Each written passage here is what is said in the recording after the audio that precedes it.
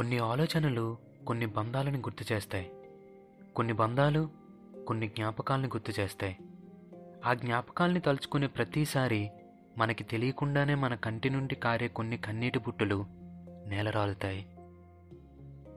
మనం బాగా ప్రేమించిన మనిషి మనల్ని విడిచి వెళ్ళిపోయినప్పుడు ఒంటరిగా కూర్చోాలనిపిస్తుంది మనకిష్టం లేని పని చేస్తూ అలసిపోయినప్పుడు ఒంటరిగా ఉండాలనిపిస్తుంది. ఇలా రకరకాల కారణాలతో ఎన్నోసార్లు ప్రపంచానికి దూరంగా వెళ్ళిపోయి ఒంటరిగా మనకంటూ కొంత సమయాన్ని గడపాలనిపిస్తూ ఉంటుంది. ఒక మనిషి ఒంటరిగా ఉన్నాడంటే దాని అర్థం తన బాధలో ఉన్నట్టు కాదు. తన మనసుని కలిచివేసే ఎన్నో సంఘటనలకి కారణాన్ని తను వెతుక్కుంటున్నాడని అర్థం. జీవితంలో ప్రతి క్షణం ఏదో ఒక సమస్య వస్తూనే ఉంటుంది.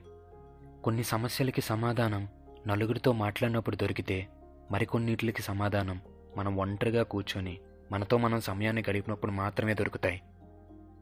కాలంతో పోటీ పడుతూ పరుగులు తీయటం ఆపి ఒక్కసారి నీ చుట్టూ ఉన్న సమాజాన్ని చూడు. నీకన్నా ఎంత వేగంగా పరుగులు తీస్తుందో నీకే అర్థమవుతుంది. ఎన్ని పరుగులు తీసినా చివరాఖరికి చేరాల్సింది భూదేవి ఒడిలోనే కదరా. నీ వెంటరాని డబ్బు కోసం పరుగులాపి నీతో వచ్చే నిన్ను నువ్వు ప్రేమించడం నేర్చుకో. జీవితంలో అన్ని సమస్యలకి సమాధానం నువ్వు చదివే పుస్తకాల్లో దొరకవు. కొన్ని సమస్యలకి నువ్వే సమాధానం అవుతావు. కానీ నీకు నువ్వు ఎప్పుడు సమయాన్ని కేటాయించావని సమాధానం దొరకడానికి?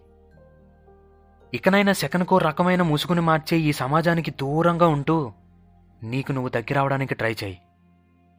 నీ సంతోషాన్ని నలుగురితో పంచుకో. అది చాలా బాగుంటుంది. కానీ నీలో కలిగే బాధని మాత్రం ఎవ్వరితోనే పంచుకోకు. అది నీ బలహీనత అవుతుంది. ఒంటరిగా కూర్చొని నీకంటూ కొంత సమయాన్ని నువ్వు కేటాయించు. నీ చుట్టూ ఉన్న సమస్యలకి సమాధానం నీలోనే వెతుక్కో.